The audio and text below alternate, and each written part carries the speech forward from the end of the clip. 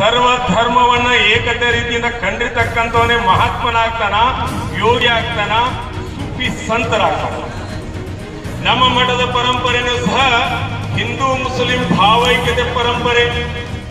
ವಿಜಯಪುರ ಜಿಲ್ಲೆಯ ಕೊಲ್ಹಾರ ಪಟ್ಟಣದಲ್ಲಿ ಇಪ್ಪತ್ತನೇ ಶತಮಾನದ ಸೂಫಿ ಸಂತ ಶ್ರೀ ಗುರು ಅಲ್ಹಾಜಿ ಶಾ ಅಬ್ದುಲ್ ಗಪ್ಪಾರ ಖಾದ್ರಿ ಅವರ ಇಪ್ಪತ್ತಾರನೇ ಉರ್ಸಿನ ನಿಮಿತ್ತವಾಗಿ ಕಾನಕ ಗಫ್ಗಾರಿಯಾ ಹಾಗೂ ಲಬ್ಬೈಕಾ ವೆಲ್ಫೇರ್ ಟ್ರಸ್ಟ್ ಸಂಯುಕ್ತ ಆಶ್ರಯದಲ್ಲಿ ಸದ್ಭಾವನಾ ಸಮಾರಂಭವನ್ನ ಏರ್ಪಡಿಸಲಾಗಿತ್ತು. ನಿಮಗೆ ಯಾರಾದರೂ ನಿಮ್ಮ ಧರ್ಮ ಯಾವುದು ಅಂತ ಕೇಳಿದರೆ ನಮ್ಮ ಧರ್ಮ ಮಾನವ ಧರ್ಮ ಅಂತ ನೀವು ಉತ್ತರ ಕೊಡಬೇಕು.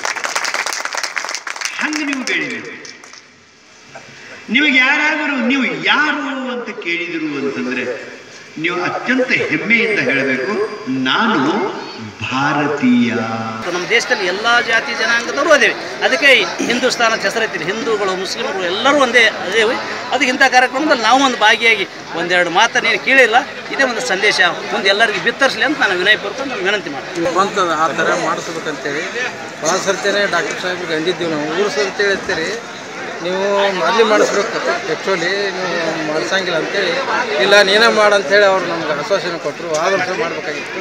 ಸಮಾಜದಲ್ಲಿ ಜನರ ಮಧ್ಯ ಇರುವ ವೈಷಮ್ಯಗಳನ್ನ ಹೋಗಲಾಡಿಸಿ ನಾವೆಲ್ಲರೂ ಒಂದಾಗಿ ನಮ್ಮ ದೇಶದ ಸಂಸ್ಕೃತಿಯನ್ನ ಉಳಿಸಿಕೊಂಡು ಹೋಗೋಣ ಎನ್ನುವುದೇ ಈ ಕಾರ್ಯಕ್ರಮದ ಉದ್ದೇಶವಾಗಿದೆ.